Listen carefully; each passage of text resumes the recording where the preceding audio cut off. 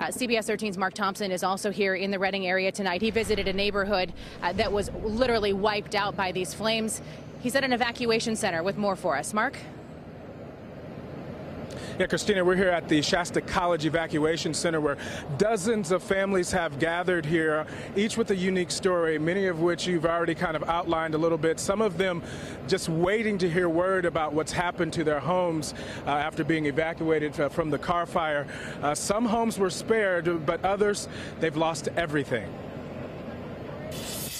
The scene here off of Sunflower Drive in Redding, pure devastation. Flames from the Carr fire ripping through last night at remarkable speed. While many homes burned to the ground, others somehow remained intact. With mandatory evacuations in place, the neighborhood empty for the most part, aside for a few residents making their way back in to check on the property of family and neighbors.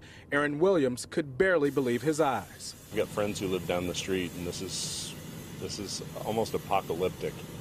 You know, I, I, watched a lot of it crest over the hill last night, and you just you just can't believe this is happening in your community. Williams has lived in Redding for nearly 20 years.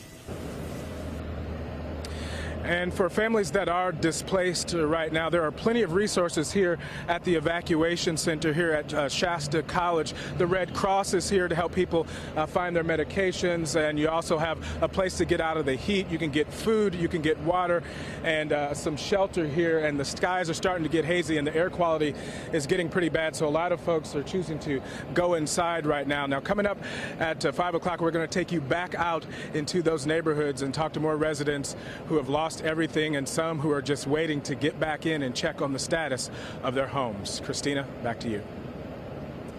Pretty terrifying for so many. Marc, thank you. And